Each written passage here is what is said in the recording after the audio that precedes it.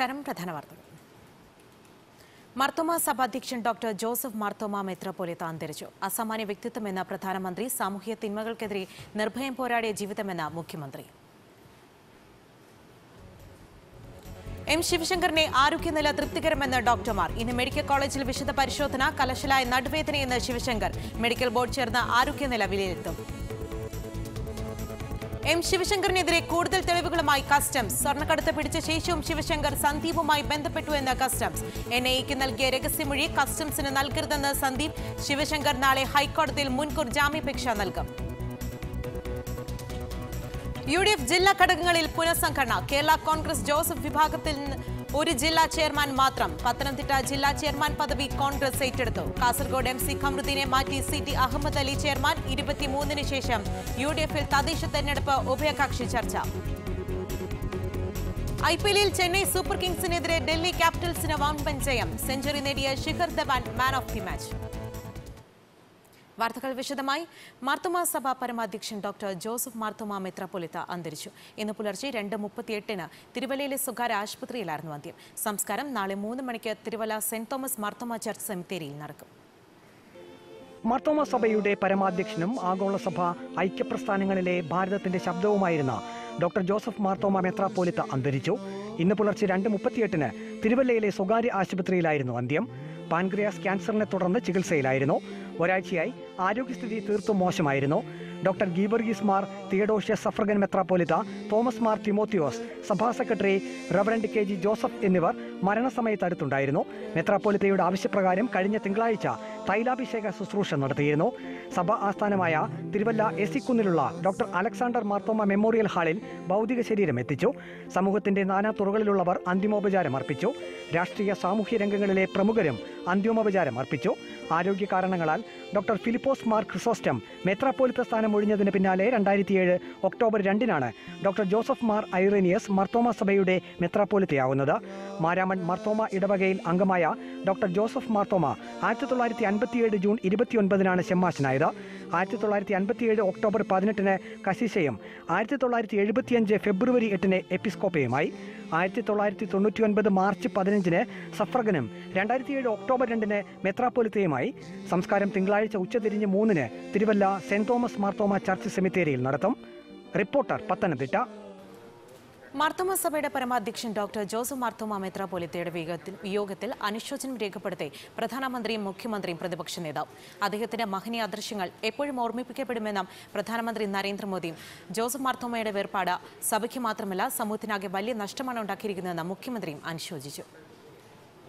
doctor Joseph Marthoma മെത്രപോലിത്ത ദരിദ്രരുടെയും താഴെക്കിടയിലുള്ളവരുടെയും ജീവിതം മെച്ചപ്പെടുത്താൻ കഠിനാധ്വാനം നടത്തുകയും മാനവികതയ്ക്ക് വേണ്ടി പ്രവർത്തിച്ച പ്രധാന വ്യക്തിത്വമായിരുന്നുവെന്നും വിനയം കൊണ്ടും സഹാനുഭൂതി കൊണ്ടും അദ്ദേഹം അനുഗ്രഹിക്കപ്പെട്ടവനായിരുന്നുവെന്നും അദ്ദേഹത്തിന്റെ മഹനീയാദൃശ്യങ്ങൾ എപ്പോഴും ഓർമ്മിപ്പിക്കപ്പെടുമെന്നും പ്രധാനമന്ത്രി നരേന്ദ്രമോദി പറഞ്ഞു സാമൂഹിക തിന്മകൾക്കെതിരെ നിർഭയം പോരാടിയ ശ്രേഷ്ഠ ജീവിതത്തിന് ഉടമയായിരുന്നു മാർത്തോമ സഭയുടെ പരമാധ്യക്ഷൻ ഡോക്ടർ ജോസഫ് മാർത്തോമ മെത്രാപൊലിത്തിയെന്ന് മുഖ്യമന്ത്രി പിണറായി വിജയനും അനുസ്മരിച്ചു സമൂഹത്തിലെ അശ്നരനും പാർശ്വവൽക്കരിക്കപ്പെട്ടവരുമായ ജനങ്ങളുടെ മോചനത്തിനും ക്ഷേമത്തിനും വേണ്ടി അദ്ദേഹം വേറിട്ട വഴികളോട് സഞ്ചരിച്ചുവെന്നും മുംബൈയിലെ ചുവന്ന തെരുവിലെ കുഞ്ഞുങ്ങളെ പുനരധിവസിപ്പിക്കാനും ട്രാൻസ്ജെൻഡേഴ്സിനെ മുഖ്യധാരയിലേക്ക് കൊണ്ടുവരാനും അദ്ദേഹം നടത്തിയ ഇടപെടലുകൾ ഇതിന് ഉദാഹരണമാണെന്നും മുഖ്യമന്ത്രി പറഞ്ഞു പ്രളയം ഭൂകമ്പം തുടങ്ങിയ പ്രകൃതി ദുരന്തങ്ങളിൽ ദുരിതം അനുഭവിക്കുന്നവരെ സഹായിക്കാൻ അദ്ദേഹം രാജ്യമെമ്പാടും സഞ്ചരിച്ചു കേരളം സുനാമിയും മഹാപ്രളയവും നേരിട്ടപ്പോഴും മെത്രപൊലിത്ത സഹായഹസ്തവുമായി മുന്നിലുണ്ടായിരുന്നുവെന്നും മതനിരപേക്ഷമായ നിലപാടുകൾ ഉയർത്തിപ്പിടിച്ചാണ് അദ്ദേഹം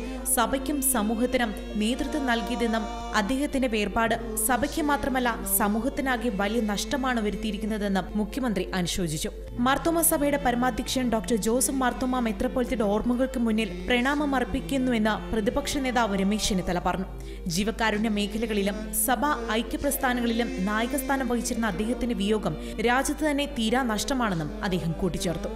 news desk reporter Thiruvananthapuram medical college ആശുപത്രിയിൽ ചികിത്സയിൽ കഴിയുന്ന എം ശിവശങ്കറിന്റെ ആരോഗ്യനില തൃപ്തികരമെന്ന് ഡോക്ടർമാർ മെഡിക്കൽ ബോർഡ് നാളെ യോഗം ചേർന്ന് ആരോഗ്യസ്ഥിതി വിലയിരുത്തും ഇതിനുശേഷമാകും കസ്റ്റംസ് തുടർ നടപടികൾ സ്വീകരിക്കുക മെഡിക്കൽ കോളേജ് ആശുപത്രിയിൽ ഓർത്തോ വിഭാഗം ഐ സിയുവിലാണ് നിലവിൽ ശിവശങ്കർ ആരോഗ്യനില തൃപ്തികരമാണെങ്കിലും ഐ സിയുവിൽ തുടരട്ടെ എന്നാണ് ഡോക്ടർമാരുടെ നിലപാട് കടുത്ത പുറംവേദനയുണ്ടെന്ന് ശിവശങ്കർ ഡോക്ടർമാരെ അറിയിച്ചിട്ടുണ്ട് ഇതിന്റെ അടിസ്ഥാനത്തിൽ ഇന്നും എം ആർ ഐ സ്കാനിംഗ് ഉൾപ്പെടെ വിവിധ പരിശോധനകൾക്ക് ശിവശങ്കറിനെ വിധേയമാക്കും കഴിഞ്ഞ ദിവസം രൂപീകരിച്ച മെഡിക്കൽ ബോർഡിന്റെ നേതൃത്വത്തിലാണ് ചികിത്സ പുരോഗമിക്കുന്നത്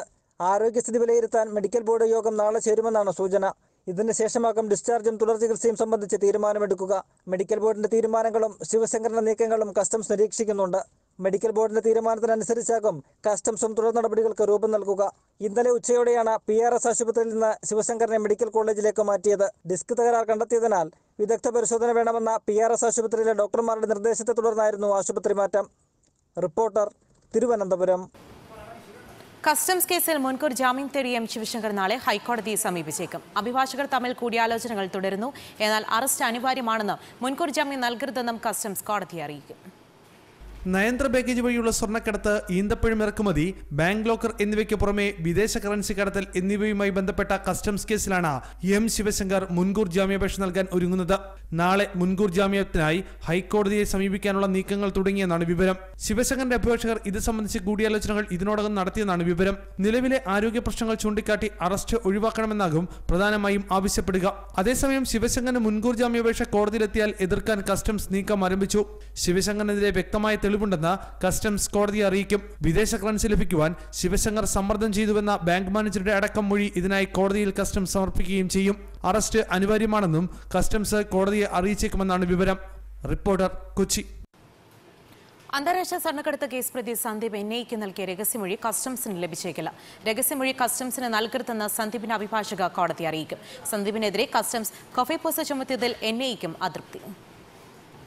അന്താരാഷ്ട്ര സ്വർണ്ണക്കടത്ത് കേസിൽ എൻ ഐ എ അന്വേഷണം നിശ്ചലമായ അവസ്ഥയിലെത്തിയപ്പോഴായിരുന്നു കേസിലെ നാലാം പ്രതിയായ സന്ദീപ് എൻ ഐ എ കേസിൽ കുറ്റസമ്മതം നടത്തിയത് കേസിലെ നിർണായക പ്രതികളായ സ്വപ്നയും റമീസുമായും അടുത്ത സൗഹൃദമുള്ള സന്ദീപിന്റെ രഹസ്യമൊഴി എൻ ഐ എക്ക് ആശ്വാസമാവുകയും ചെയ്തു രഹസ്യമൊഴി നൽകിയ സന്ദീപിനെ സാക്ഷിയാക്കാൻ എൻ ഐ എ ഒരുങ്ങുന്നതിനിടയിലാണ് കസ്റ്റംസ് സന്ദീപിനെതിരെ കൊഫേപ്പസ് ചുമത്തിയത് കൊഫേപ്പസ് ചുമത്തിയ സാഹചര്യത്തിൽ ഒരു വർഷം വരെ സന്ദീപിനെ ജയിലിൽ തുടരേണ്ടി വരും ഇതിൽ കടുത്ത എതിർപ്പാണ് എൻ ഐ എക്കുള്ളത് സന്ദീപിന്റെ രഹസ്യമൊഴി ആവശ്യപ്പെട്ട് ഇതിനിടയിൽ കസ്റ്റംസ് എൻ ഐ എ കോടതിയിൽ അപേക്ഷ നൽകുകയും ചെയ്തു എന്നാൽ കസ്റ്റംസിന് രഹസ്യമൊഴി നൽകുന്നതിനെ എതിർക്കാനാണ് സന്ദീപിന്റെ തീരുമാനം കസ്റ്റംസിന് രഹസ്യമൊഴി നൽകുന്നതിനോട് എൻ ഐ എക്കും താല്പര്യമില്ല ബുധനാഴ്ച കസ്റ്റംസ് അപേക്ഷ കോടതി പരിഗണിക്കുമ്പോൾ നിലപാട് വ്യക്തമാക്കാനാണ് എൻ ഐ എയുടെ തീരുമാനം ഇതിനിടയിൽ കൂടുതൽ പ്രതികൾക്കെതിരെ കൊഫിഫസ് ചുമത്താൻ കസ്റ്റംസ് നീക്കവും ആരംഭിച്ചു എൻ ഐ എ കേസിൽ സന്ദീപ് രഹസ്യമൊഴി നൽകിയതിന് പിന്നാലെ കസ്റ്റംസ് കൊഫേബസ ചുമത്തിയതിൽ എൻ ഐ എക്ക് കടുത്ത എതിർപ്പാണുള്ളത് രഹസ്യമൊഴി ആവശ്യപ്പെട്ട് കസ്റ്റംസ് നൽകിയ അപേക്ഷ കോടതിയിൽ എതിർക്കാനാണ് എൻ ഐയുടെ തീരുമാനം കൊച്ചിയിൽ നിന്നും ആർ അരുൺ രാജ് റിപ്പോർട്ടർ മുഖ്യമന്ത്രിയുടെ സാന്നിധ്യത്തിലും അല്ലാതെയും പലതവണ കണ്ടതായുള്ള സ്വപ്നയുടെ മൊഴിയോട് പ്രതികരിക്കാതെ ശിവശങ്കർ രണ്ടായിരത്തി പതിനേഴ് ക്ലിഫ് ഹൌസിൽ സ്വപ്നയോടൊപ്പം മുഖ്യമന്ത്രിയെ കണ്ടതിനെക്കുറിച്ച് ഓർമ്മയില്ല താനും സ്വപ്നയും മൂന്ന് തവണ വിദേശയാത്ര നടത്തി കള്ളക്കടത്ത് സ്വർണം അടങ്ങിയ ബാഗ് വിട്ടുകിട്ടാൻ സ്വപ്ന പലതവണ സമീപിച്ചുവെന്നും എന്നാൽ താൻ സഹായം ചെയ്തിട്ടില്ലെന്നും ശിവശങ്കർ പറഞ്ഞു വിവരങ്ങളുമായി അരുൺ രാജ് ചേരുന്നുണ്ട് അരുൺ എന്താണ് വിശദാംശങ്ങൾ ക്രിസ്മ രണ്ടായിരത്തി പതിനാറ് മുതൽ സർക്കാരും യു എ കോൺസുലേറ്റും തമ്മിലുള്ള പോയിന്റ് ഓഫ് കോൺടാക്റ്റായി തന്നെയാണ് ചുമതലപ്പെടുത്തിയെന്ന് ശിവശങ്കർ എൻഫോഴ്സ്മെന്റ് നൽകിയ മൊഴിയിൽ പറയുന്നു മുഖ്യമന്ത്രിയുടെ സാന്നിധ്യത്തിലും അല്ലാതെയും പലതവണ ഈ സ്വപ്നയെ കണ്ടോ എന്ന ആ ചോദ്യത്തോട് പ്രതികരിക്കാൻ ശിവശങ്കർ എന്നാൽ തയ്യാറായിട്ടില്ല എൻഫോഴ്സ്മെന്റ് ചോദ്യം ചെയ്തപ്പോഴാണ് ശിവശങ്കർ ഇത്തരത്തിൽ ഒഴിഞ്ഞു മാറിയത് രണ്ടായിരത്തി പതിനേഴിൽ ക്രിഫോഴ്സിൽ സ്വപ്നയോടൊപ്പം മുഖ്യമന്ത്രിയെ കണ്ടതിനെ കുറിച്ച് ഓർമ്മയില്ല എന്നതാണ് ഇപ്പോൾ ശിവശങ്കർ നൽകിയിരിക്കുന്ന മൊഴിയിൽ ഏറ്റവും പ്രധാനപ്പെട്ടത് നേരത്തെ സ്വപ്ന ഇതുമായി ബന്ധപ്പെട്ട് നൽകി ആരോപിക്കുന്നത് രണ്ടായിരത്തി പതിനേഴിലാണ് താനും ശിവശങ്കറും ഒരുമിച്ച് മുഖ്യമന്ത്രിയെ കണ്ടതായി ഇവിടെ വെച്ചാണ് ശിവശങ്കർ ലൈഫ് മിഷൻ പദ്ധതി അടക്കമുള്ള കാര്യങ്ങൾ കോൺസുലേറ്റുമായി ബന്ധപ്പെട്ട കാര്യങ്ങൾ ശിവശങ്കറിനെ ചുമതലപ്പെടുത്തുന്ന എന്നീ കാര്യങ്ങളായിരുന്നു എന്നാൽ ഇതിനെക്കുറിച്ച് ഓർമ്മയില്ല എന്നതാണ് ശിവശങ്കർ നൽകിയ മൊഴി താനും സ്വപ്നിയമൊത്ത് മൂന്ന് തവണ വിദേശയാത്ര നടത്തിയിട്ടുണ്ട് എന്നാൽ ഇത് സംബന്ധിച്ച് കൂടുതൽ വിശദാംശങ്ങൾ ഇപ്പോൾ ഈ ഘട്ടത്തിൽ പുറത്തേക്ക് വരുന്നില്ല കള്ളക്കടത്തുമായി അടങ്ങിയ സ്വർണം അടങ്ങിയ ബാഗ് നയന്ത്ര ബാഗേജ് വിട്ടുകിട്ടാൻ സ്വപ്ന വിളിച്ചെങ്കിലും താൻ ഇതുമായി ബന്ധപ്പെട്ട് സഹായം ചെയ്ത് നൽകിയില്ല എന്നും ശിവശങ്കർ നൽകിയ മൊഴിയിൽ പറയുന്നു യു എ റെഡ് ക്രോസുമായുള്ള മീറ്റിംഗിൽ താനും പങ്കെടുത്തിട്ടുണ്ട് ഇത്തരം മീറ്റിംഗുകൾ നടത്തിയിട്ടുണ്ട് എന്നാൽ ഇത് സംബന്ധിച്ച് കൂടുതൽ വിവരങ്ങൾ ശിവശങ്കർ എൻഫോഴ്സ്മെന്റ് മുമ്പിൽ പറഞ്ഞിട്ടില്ല ചില മൊഴികളിൽ ഇപ്പോഴും വ്യക്തത തരാതെയാണ് ഈ ശിവശങ്കർ ഒഴിഞ്ഞു മാറുന്നതെന്ന എൻഫോഴ്സ്മെന്റ് പരാമർശം പൂർണ്ണമായും ശരിവെക്കുന്നതാണ് ഇപ്പോൾ പുറത്തുവരുന്ന മൊഴിയുടെ വിശദാംശങ്ങൾ എന്തായാലും ശിവശങ്കറിന് നേരിട്ട് ഇക്കാര്യങ്ങൾ സ്വപ്നയുമായി ബന്ധമുണ്ടായിരുന്നു ഇക്കാര്യങ്ങളിൽ സ്വപ്നയുടെ അടക്കമുള്ള വിദേശയാത്രകൾ സ്വപ്നയ്ക്ക് ഒപ്പം ദേശയാത്ര ശിവശങ്കർ നടത്തിയിട്ടുണ്ട് എന്നിവ തെളിയിക്കാൻ ശിവശങ്കറിന്റെ മൊഴി തന്നെ ഇപ്പോൾ ഈ ഘട്ടത്തിൽ എൻഫോഴ്സ്മെന്റ് ഉപയോഗിക്കുകയും ചെയ്യുന്നു എം ശിവശങ്കർ എൻഫോഴ്സ്മെന്റ് നൽകിയ മൊഴിയാണ് ഇപ്പോൾ റിപ്പോർട്ടിന് ലഭിച്ചിരിക്കുന്നത് മുഖ്യമന്ത്രിയുടെ സാന്നിധ്യത്തിൽ അല്ലാതെയും പലതവണ സുബിനയെ കണ്ടിട്ടുണ്ടെന്നും സ്വർണ്ണക്കടത്ത് അടങ്ങിയ ബാഗ് വിട്ടുകിട്ടതിന് സ്വപ്ന തന്നെ പലതവണ സമീപിച്ചുവെന്നും സ്വപ്നയുമായി മൂന്ന് തവണ വിദേശയാത്ര നടത്തിയെന്നും മൊഴിയിൽ പറയുന്നു വിവരങ്ങൾ നൽകുകയായിരുന്നു അരുൺ രാജ് ജോസ് കെ മാണിക്ക് എൽ ഡി എഫിൽ അധികകാലം തുടരാനാവില്ലെന്ന് എം എം ഹസൻ കെ മാണിക്ക് സാധിക്കാത്തത് ജോസിന് സാധിക്കുമോ എന്നും അദ്ദേഹം ചോദിച്ചു ലീഗ് നേതാക്കളുമായി പാണക്കാട് നടത്തിയ കൂടിക്കാഴ്ചയ്ക്ക് ശേഷമായിരുന്നു യു ഡി എഫ് കൺവീനറുടെ പ്രതികരണം കക്ഷികൾ എൽ ഡി എഫ് ചേരുന്നത് കടലിൽ കായും കലക്കുന്നത് പോലെയാണെന്ന് കുഞ്ഞാലിക്കുട്ടി പ്രതികരിച്ചു പാണക്കാടെത്തി ലീഗ് നേതാക്കളുമായി നടത്തിയ ചർച്ചകൾക്ക് ശേഷമായിരുന്നു എം എം ഹസന്റെ പ്രതികരണം ജോസ് കെ മാണിയുടെ എൽ ഡി എഫ് പ്രവേശം കരുതിക്കൂട്ടി തയ്യാറാക്കിയ പദ്ധതിയാണെന്നും അതുകൊണ്ടാണ് ലീഗിന്റെ നേതൃത്വത്തിൽ നടത്തിയ ചർച്ചകൾ ഫലം കാണാതെ പോയതെന്നും അദ്ദേഹം പറഞ്ഞു എൺപതിൽ കെ എം മാണിയെയും എ കെ ആന്റണിയെയും എ കെ ജി സെന്ററിലേക്ക് റെഡ് കാർപ്പറ്റ് വിരിച്ച് സ്വീകരിച്ചതോർക്കുമ്പോൾ ജോസിനെ സ്വീകരിച്ചത് അത്ഭുതമായി തോന്നുന്നില്ല മാണിക്ക് പുറത്തു ചാടാൻ രണ്ട് വർഷമെടുത്തെങ്കിൽ ജോസിന് അത്രയും കാലം വേണ്ടിവരില്ലെന്നും ഹസൻ പറഞ്ഞു അതുകൊണ്ട് ജോസ് കെ മാണിക്ക് മാണി സാറിന് രണ്ട് കൊല്ലം വേണ്ടി വന്നെങ്കിൽ ജോസ് കെ മാണിക്ക് അത്രയും സമയം വേണ്ടി വരില്ല അതാണ് സംഭവിക്കാൻ പോകുന്നത് കക്ഷികൾ എൽ ഡി എഫിൽ ചേക്കേറുന്നത് കടലിൽ കായം കലക്കുന്നത് പോലെയാണെന്നും വരുന്ന നാളുകളിൽ യു ഡി എഫ് കേരളത്തിൽ കൊടുങ്കാറ്റായി വീശുന്നത് കാണാനാകുമെന്നും കുഞ്ഞാലിക്കുട്ടി പ്രതികരിച്ചു വരുന്ന ദിവസങ്ങളിൽ നിങ്ങൾ നോക്കിയിരുന്നു യു ഡി എഫ് കേരളത്തിൽ നല്ല ഒരു കൊടുങ്കാറ്റായി ആഞ്ഞു വീശി വരും തദ്ദേശ തെരഞ്ഞെടുപ്പുമായി ബന്ധപ്പെട്ട ചർച്ചകൾക്കായി ഈ മാസം ഇരുപത്തിമൂന്നിന് യു ഡി എഫ് കക്ഷി നേതാക്കളുടെ യോഗം ചേരും യു ഡി എഫ് ജില്ലാ കമ്മിറ്റികളിൽ മാറ്റം വരുത്തിയതായും U D F convener M M Hasan അറിയിച്ചു റിപ്പോർട്ടർ മലപ്പുറം കേരള കോൺഗ്രസ് മാണി വിഭാഗം മുന്നണി വിട്ട സാഹചര്യത്തിൽ യു ഡി എഫ് ജില്ലാ കമ്മിറ്റികൾ പുനഃസംഘടിപ്പിച്ചു കേരള കോൺഗ്രസ് ജോസ് വിഭാഗത്തിന് കോട്ടയം ജില്ലാ ചെയർമാൻ സ്ഥാനവും മൂന്ന് ജില്ലാ കൺവീനർ സ്ഥാനവും മാത്രം നൽകിയപ്പോൾ പത്തനംതിട്ട ജില്ലാ ചെയർമാൻ സ്ഥാനം കോൺഗ്രസ് ഏറ്റെടുത്തു ജ്വല്ലറി തട്ടിപ്പ് കേസിലെ പ്രതിയെ കാസർഗോഡ് ജില്ലാ ചെയർമാൻ എം സി ഖമറുദ്ദീനെ മാറ്റി പകരം മുൻ മന്ത്രി സി ടി അഹമ്മദ് അലിയെ നിയമിച്ചു കഴിഞ്ഞ ദിവസം ചേർന്ന യു ഡി എഫ് ഏകോപന സമിതിയുടെ തീരുമാനത്തിന്റെ അടിസ്ഥാനത്തിലാണ് ജില്ലാ ഘടകങ്ങൾ പുനഃസംഘടിപ്പിച്ചത് കേരള കോൺഗ്രസ് മാണി വിഭാഗം മുന്നണി വിട്ട സാഹചര്യത്തിൽ ജോസഫ് വിഭാഗത്തിന് ഒരു ജില്ലാ ചെയർമാൻ പദവിയും മൂന്ന് ജില്ലാ കൺവീനർ പദവിയും മാത്രമാണ് നൽകിയത് ജോസഫ് വിഭാഗത്തിന്റെ പ്രതിനിധി മോൺസ് ജോസഫ് എം കോട്ടയം ജില്ലാ ചെയർമാനായി നിയമിച്ചു പത്തനംതിട്ട ജില്ലാ ചെയർമാൻ പദവി കോൺഗ്രസ് ഏറ്റെടുത്തു അവിടെ ചെയർമാനായിരുന്ന ജോസഫ് വിഭാഗത്തിലെ വിക്ടർ തോമസിനെ കൺവീനറാക്കി മാറ്റി എറണാകുളം ഇടുക്കി ജില്ലാ കൺവീനർ പദവികളും ജോസഫ് വിഭാഗത്തിന് നൽകിയിട്ടുണ്ട് പത്തനംതിട്ട ജില്ലാ ചെയർമാൻ പദവി ഉൾപ്പെടെ ആറ് പദവികളായിരുന്നു ജോസഫ് വിഭാഗം ആവശ്യപ്പെട്ടത് ഇതിൽ ആലപ്പുഴ ജില്ലാ കൺവീനർ പദവി ഒഴിച്ചിട്ടിരിക്കുകയാണ് ജോസഫ് വിഭാഗത്തിനൊപ്പം കോൺഗ്രസും അവകാശവാദം ഉയർത്തിയ സാഹചര്യത്തിലാണ് ഈ പദവി ഒഴിച്ചിട്ടിരിക്കുന്നത് അതേസമയം ജ്വല്ലറി തട്ടിപ്പ് കേസിലെ പ്രതിയായ എം സി കമറുദ്ദീനെ കാസർഗോഡ് ജില്ലാ ചെയർമാൻ സ്ഥാനത്ത് നിന്നും മാറ്റി പകരം മുൻമന്ത്രി സി ടി അഹമ്മദ് അലിയെ നിയമിച്ചു കോൺഗ്രസിലെ തർക്കത്തെ തുടർന്ന് പാലക്കാട് ജില്ലാ ചെയർമാനെ നിയമിക്കാൻ കഴിഞ്ഞിട്ടില്ല അതേസമയം തങ്ങൾ ആവശ്യപ്പെട്ട പദവികൾ ലഭിക്കാത്തതിൽ കേരള കോൺഗ്രസ് ജോസഫ് വിഭാഗത്തിന് അസംതൃപ്തിയുണ്ടെന്നാണ് സൂചന റിപ്പോർട്ടർ തിരുവനന്തപുരം കണ്ണൂർ പയ്യന്നൂരിൽ നാടൻ തോക്കും തിരകളും കണ്ടെത്തി ഇന്ന് രാവിലെയാണ് അനൂർ പീപ്പിൾസ് ക്ലബിന് സമീപത്തെ റോഡരികിൽ ഉപേക്ഷിച്ച നിലയിൽ ബാഗ് കണ്ടെത്തിയത് നാട്ടുകാർ വിവരം അറിയിച്ചതിനെ തുടർന്ന് പോലീസ് എത്തിയ ബാഗ് പരിശോധിച്ചപ്പോഴാണ് ബാഗിൽ നിന്നും നാടൻ തോക്കും പത്ത് തിരകളും കണ്ടെത്തിയത് പയ്യന്നൂർ പോലീസ് തോക്കും തിരകളും കസ്റ്റഡിയിലെടുത്ത് അന്വേഷണം ആരംഭിച്ചു മഹാകവി അക്കിത്തത്തിനെ കുമാരനല്ലൂരിലെ വസതിയിൽ കേന്ദ്ര വിദേശകാര്യ സഹമന്ത്രി വി മുരളീധരൻ സന്ദർശനം നടത്തി അക്കിത്തത്തിനെ സ്മാരകം നിർമ്മിക്കുന്നതിന് കേന്ദ്ര സർക്കാരിന്റെ എല്ലാ പിന്തുണയും ഉണ്ടാകും ആദ്യഘട്ട ചർച്ചകൾ കേന്ദ്ര സാംസ്കാരിക വകുപ്പ് മന്ത്രി പ്രഹ്ലാദ് പട്ടേലുമായി നടത്തിയെന്നും വി മുരളീധരൻ പറഞ്ഞു പ്രധാനമന്ത്രിയുടെ അനുശോചനം നേരിട്ട് അറിയിക്കാനാണ് മന്ത്രി എത്തിയത്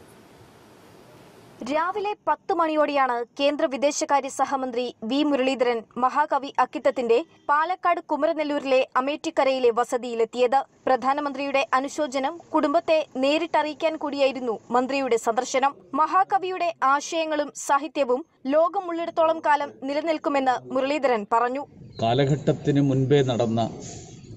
ഒരു ക്രാന്തദർശിയായിട്ടുള്ള കവി എന്നുള്ള നിലയിൽ അദ്ദേഹത്തിൻ്റെ ശരീരം ലോകം വിട്ടുപോയി പക്ഷേ അദ്ദേഹത്തിൻ്റെ ആശയങ്ങളും അദ്ദേഹം മുന്നോട്ട് വെച്ച അദ്ദേഹത്തിൻ്റെ സാഹിത്യവും അത് തീർച്ചയായിട്ടും ലോകമുള്ളിടത്ത കാലം മലയാളികൾ ഓർമ്മിക്കും അക്കിത്തം സ്മാരകം നിർമ്മിക്കുന്നതിന് കേന്ദ്ര സർക്കാരിന്റെ എല്ലാ പിന്തുണയും ഉണ്ടാകുമെന്നും കേന്ദ്ര സാംസ്കാരിക വകുപ്പ് മന്ത്രി പ്രഹ്ലാദ് പട്ടേലുമായി ഇതേക്കുറിച്ച് സംസാരിച്ചതായും മന്ത്രി വ്യക്തമാക്കി മലയാളികളുടെ മുഴുവൻ ഒരു ആവശ്യമാണിത് അതിനു വേണ്ടിയിട്ട് കേന്ദ്ര സർക്കാരിൻ്റെ എല്ലാവിധത്തിലുള്ള പിന്തുണയും ഉണ്ടാകും സാംസ്കാരിക വകുപ്പ് മന്ത്രി ശ്രീ പ്രഹ്ലാദ് പട്ടേലുമായിട്ട് ഞാൻ കഴിഞ്ഞ ദിവസം ഹ്രസ്വമായിട്ട് ഈ കാര്യം സൂചിപ്പിച്ചിരുന്നു വിശദമായിട്ടുള്ള ചർച്ചകൾ പിന്നീട് നടത്താമെന്നാണ് അദ്ദേഹം അറിയിച്ചിട്ടുള്ളത് കുടുംബാംഗങ്ങളെ അനുശോചനം അറിയിച്ചതിനു ശേഷം മഹാകവിയുമായുള്ള ഓർമ്മകൾ പങ്കുവച്ചതോടെയാണ് മന്ത്രി മടങ്ങിയത് റിപ്പോർട്ടർ പാലക്കാട് ഇടുക്കി നെടുങ്കണ്ടത്ത് വയോധികനെ തലക്കടിച്ചു കൊന്നു അയൽവാസി കോടാലിക്കൊണ്ടാണ് വയോധികന് രാമപുത്രനെ തലക്കടിച്ചു കൊന്നത് അയൽവാസിയായ ജോർജ് കുട്ടിയാണ് പ്രതി പ്രതിയായ ജോർജ് കുട്ടി ആശുപത്രിയിൽ ചികിത്സയിലാണ് വിവരങ്ങളുമായി വി എസ് ഹൈദ്രലി നമ്മളോടൊപ്പം ചേരുന്നുണ്ട് ഹൈദ്രലി എന്താണ് ഈ കൊലയ്ക്ക് പിന്നിലെ കാരണം വിവരങ്ങൾ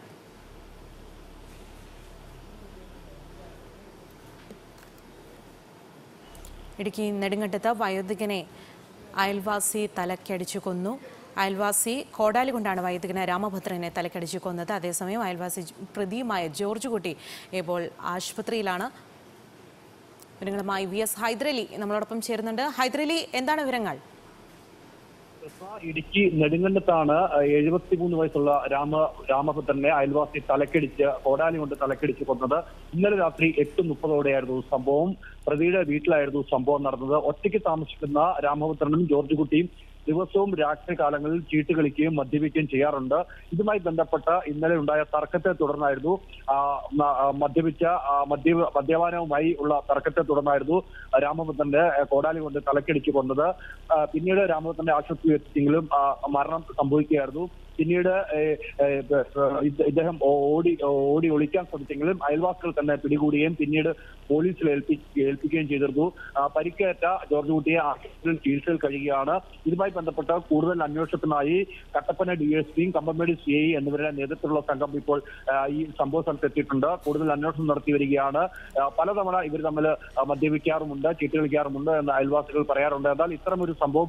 ഇതിന് മുമ്പ് ഉണ്ടായിട്ടില്ല വാക്കറക്കങ്ങൾ പോലും ഉണ്ടായിട്ടില്ല എന്നാണ് ഇപ്പോൾ അയൽവാസികൾ പറയുന്നത് വാർത്തയുടെ വിശദാംശം നൽകുകയായിരുന്നു കേരള രാഷ്ട്രീയത്തിൽ നീണ്ട വർഷക്കാലം യു ഡി എഫ് രാഷ്ട്രീയം ചർച്ച ചെയ്ത കരിങ്ങോഴിക്കൽ തറവാട്ടിൽ ഇനി കോൺഗ്രസ് നേതാക്കൾക്ക് പ്രവേശനമില്ല കെ എം മാണി സാറിന്റെ ഭരണത്തോടെ യു ഡി എഫ് രാഷ്ട്രീയം ഈ വീട്ടിൽ നിന്നും അപ്രസക്തമായി ഇനി അങ്ങോട്ട് ജോസ് കെ മാണിയുടെ ഊഴമാണ് അറുപത് വർഷമായി കോട്ടയം പാലായിലെ കരിങ്ങോഴക്കൽ എന്ന ഈ വീട് കേരള രാഷ്ട്രീയത്തിൽ നിറസാന്നിധ്യമാണ് കേരള കോൺഗ്രസ് വളർന്നപ്പോഴും പിളർന്നപ്പോഴും കെ എം മാണി എന്ന അധികായകന് ഒപ്പം വാർത്തകളിൽ ഈ വീട് ഇടം പിടിച്ചിരുന്നു യു ഡി എഫ് കേരളം ഭരിച്ച കാലഘട്ടത്തിലെല്ലാം തന്നെ കേരളത്തിന്റെ അധികാര കേന്ദ്രങ്ങളൊന്നായി ഈ വീട് മാറുകയും ചെയ്തിട്ടുണ്ട് യു ഡി എഫുമായി കയമാണി പിണങ്ങിയ ഘട്ടത്തിലും ഈ തറവാട് മുറ്റത്തിലേക്ക് ഒഴുകിയെത്തിയ കോൺഗ്രസ് നേതാക്കന്മാരുടെ പട്ടികയും ചെറുതല്ല പ്രതിസന്ധി ഘട്ടത്തിൽ മാണിസാറിന് താങ്ങും തണലുമായതും ഇതേ വീട് തന്നെ എന്നാൽ പാലായിലെ സ്വന്തം മാണിസാറിന്റെ മരണത്തിനു ശേഷം ഈ തറവാട് മുറ്റത്തേക്ക് കോൺഗ്രസ് നേതാക്കൾ എത്തിയത് വിരളം ജോസ് കെ മാണി മുന്നണി വിട്ടപ്പോൾ അനുനയ ചർച്ചയ്ക്ക് ഈ വീട് വഴി കയറി തേടി മാണിക്കൊപ്പം നിന്ന മുതിർന്ന കോൺഗ്രസ് നേതാക്കൾ എത്തിയില്ല എന്നതും ശ്രദ്ധേയമാണ് കെ എം മാണിക്കൊപ്പം തന്നെ ഈ വീട്ടിൽ നിന്നും യു രാഷ്ട്രീയവും അപ്രസക്തമാകുകയാണ് ഇനി എൽ ഡി എഫ് രാഷ്ട്രീയത്തിലേക്കാണ് ഈ വീട് മാറുന്നത് രണ്ടായിരത്തി പതിനാറിലായിരുന്നു K M Mani sir U D എഫിൽ നിന്നും ഒന്നകന്നത് അന്ന് നിരവധി യു ഡി എഫ് നേതാക്കളാണ് ഈ മാണി സാറിന്റെ ഈ വീട്ടിലേക്ക് ഒഴുകിയെത്തിയത് അന്ന് മാണി സാർ എൽ ഡി എഫിലേക്ക് ചേക്കേറിയിരുന്നില്ല പിന്നീട് നിരന്തരം യു ഡി എഫിൽ നിന്നും കൈപ്പേറിയ അനുഭവം ഉണ്ടായതുകൊണ്ട് മാത്രമായിരിക്കും ജോസ് കെ മാണി ഇപ്പോൾ എൽ ഡി എഫിലേക്ക് ചേക്കേറിയത് ജോസ് കെ മാണിയുടെ ഭവനത്തിൽ നിന്നും ക്യാമറാൻ മോജേഷിനൊപ്പം V S Haider Ali reporter മാസങ്ങൾ നീണ്ട ഇടവേളയ്ക്ക് ശേഷം സംസ്ഥാനത്ത് വിനോദസഞ്ചാര കേന്ദ്രങ്ങൾ തുറന്ന സന്തോഷത്തിലാണ് സന്ദർശകരും അധികൃതരും എന്നാൽ ഇതിനിടയിൽ വീണ്ടും നഷ്ടങ്ങളുടെ കണക്ക് എണ്ണേണ്ടി വരുന്ന ഒരു കൂട്ടരുണ്ട് വിനോദ കേന്ദ്രങ്ങൾക്കടുത്ത് കട നടത്തിപ്പോന്ന വ്യാപാരികൾ ലക്ഷങ്ങളുടെ നാശനഷ്ടമാണ് ഓരോ കടക്കാരനും സംഭവിച്ചിരിക്കുന്നത് ലോക്ക്ഡൌണും നിയന്ത്രണങ്ങളും ഒക്കെ കഴിഞ്ഞ് വിനോദസഞ്ചാര കേന്ദ്രങ്ങൾ തുറന്നപ്പോൾ തെല്ലൊരു ആശ്വാസത്തോടെയാണ് ഇവർ കടകളിലേക്ക് എത്തിയത് എന്നാൽ മാസങ്ങളായി അടച്ചിട്ട കടകൾ തുറന്നപ്പോൾ ആ ആശ്വാസമെല്ലാം മറ്റൊരു പ്രാരാബ്ദത്തിന് വഴിമാറിക്കൊടുത്തു നാളുകളായി പിടിച്ചു കിടന്ന കളിക്കോപ്പുകളെല്ലാം നിറം മങ്ങി മറ്റു ചിലതൊക്കെ ചിതലരിച്ചു തുടങ്ങി മലമ്പുഴ ഉദ്യാനത്തിന് സമീപത്തെ കാഴ്ചകളാണിത്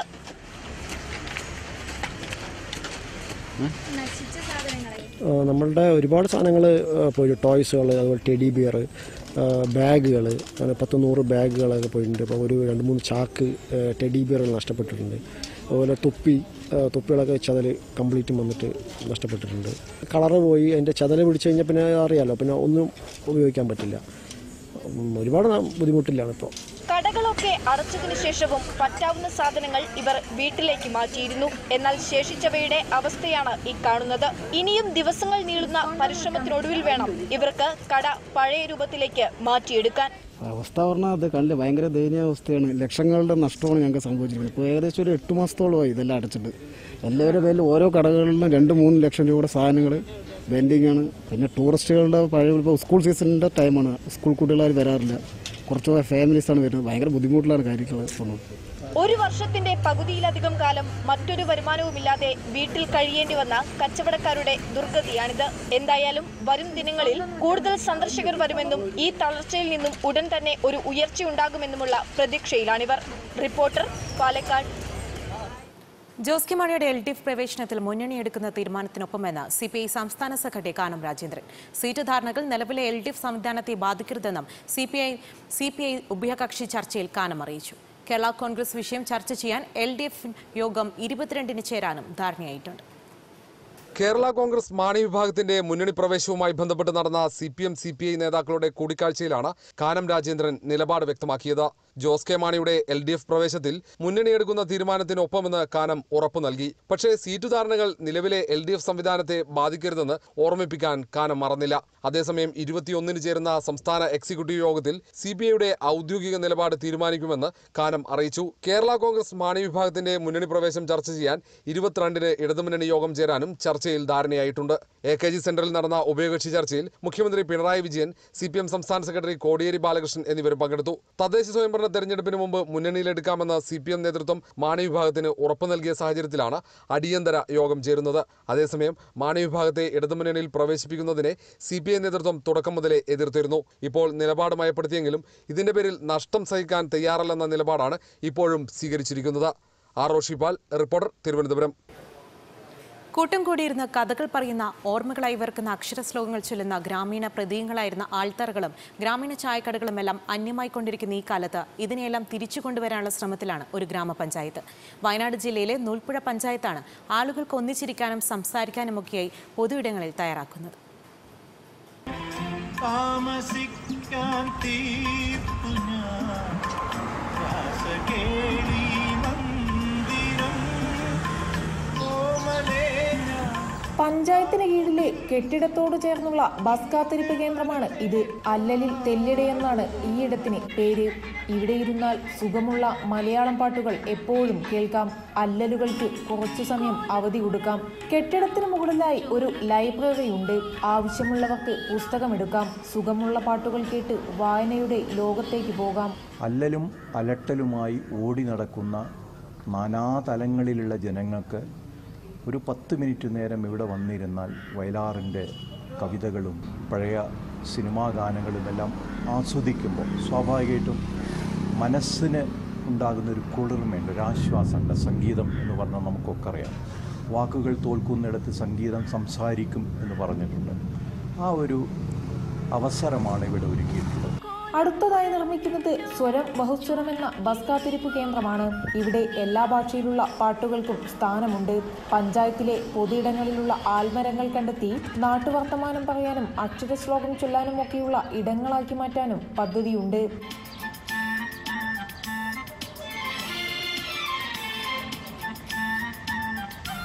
റിപ്പോർട്ടർ വയനാട് കണ്ണൂർ പയ്യന്നൂരിൽ മഹിളാ കോൺഗ്രസിന്റെ സ്നേഹോപഹാരം എന്ന പേരിൽ കൈമാറിയ വീട് ലൈഫ് ഭവന പദ്ധതിയിൽ ഉൾപ്പെടുത്തി നൽകിയതാണെന്ന വാദവുമായി പയ്യന്നൂർ നഗരസഭാ ചെയർമാൻ രംഗത്തെത്തി ലൈഫ് ഭവന പദ്ധതിയുടെ ഒന്നാം ഘട്ടത്തിൽ ഉൾപ്പെടുത്തി നിർമ്മിച്ച വീടാണ് മഹിളാ കോൺഗ്രസിന്റേതെന്ന പേരിൽ കൈമാറിയതെന്ന് ചെയർമാൻ പറഞ്ഞു കഴിഞ്ഞ ദിവസം ഡി പ്രസിഡന്റ് സതീഷ് പാച്ചേനിയാണ് വീടിന്റെ താക്കോൽദാനം നടത്തിയത്